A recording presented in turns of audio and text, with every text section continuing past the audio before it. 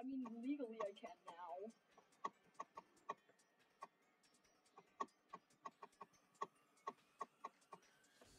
But where's the fun in legal stuff, bro?